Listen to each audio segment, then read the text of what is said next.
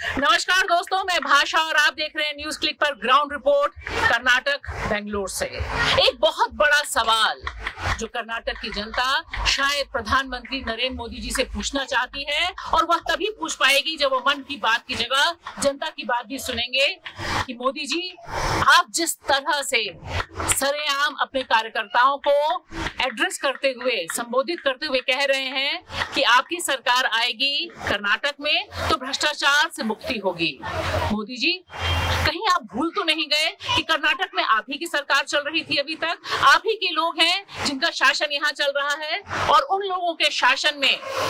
पिछले चार पाँच साल कर्नाटक ने जो देखे हैं, जिस तरह से ऑर्गेनाइज्ड करप्शन देखा है, जिस तरह से 40 फ़ीसदी कट की बात ऊपर से लेकर नीचे तक और नीचे से लेकर ऊपर तक पहुँची है, बड़े पैमाने पर उस समाज के लोगों ने आत्महत्याएँ की हैं, जो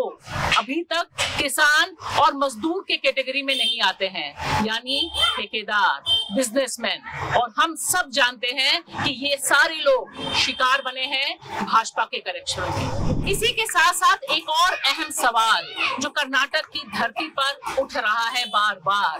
कि आप जब कर्नाटक के विकास की बात करते हैं तो क्या सिर्फ़ कुछ उद्योगपतियों की बात करते हैं? सिर्फ़ आप नंदनी के ऊपर अमूल को बैठाने की बात करते हैं? क्या आप भूल जाते हैं कि कर्नाटक की जनता की अपनी एक पूरी की पूरी जीने की पद्धति है, जिसे आप सिर्फ़ और सिर्फ़ नफरती एजेंडे में तब्दील करना चाहते हैं? आप भूल जाते हैं बसवन्ना को आप भूल जाते हैं उस कर्नाटक की साझी विरासत को, जिसने यहाँ पर मिलजुल कर लंबी परंपरा पैदा की, साथ रहने की, साथ नृत्य करने की और साथ गाना गाने की। इसी के साथ साथ मोदी जी,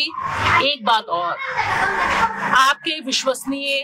देश के गृह मंत्री उनके खिलाफ कांग्रेस ने दरवाज़ा खटखटाया कि वह जो लगातार नफरती भाषण दे रहे हैं, लगातार जो कर्नाटक के मतदाताओं को धमकाने की कोशिश कर रहे हैं, यह जायज़ नहीं है। हम सब जानते हैं कि चुनाव आयोग खामोश है, खामोश रहेगा, क्योंकि आपने जो पूरा का पूरा मैकेनिज्म विकसित किया है, लोकतंत्र को दबाने का, उसमें चुनाव आयोग से अब किसी को उम्मीद नहीं है। लेकिन कम से कम कांग्रेस ने एक पहलकदमी की और कहा कि जिस तरह से नफरती एजेंडा चलाया जा रहा है, जिस तरह से आपके कहने पर, जी हाँ ध्यान दीजिए, आपके कहने पर ही भाजपा का एक नेता, जिसे आपने पहले दरकिनार किया था, वह वापस आता है और पब्लिकली ऐलान करता है कि भाजपा को एक भी मुसलमान का वोट नहीं चाहिए। मोदी जी, आप इस देश के प्रधानमंत्री हैं और जब आपको प्रधानमंत्री बनाया देश की जनता ने, तब उस समय क्या सत्ता में बैठकर आपने ये घोषणा की थी कि आप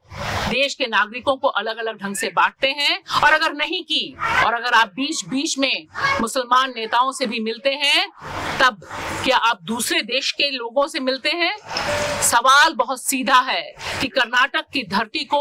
आप इस तरह की नफरती ब्रिगेड के हवाले क्यों सौंपना चाहते हैं?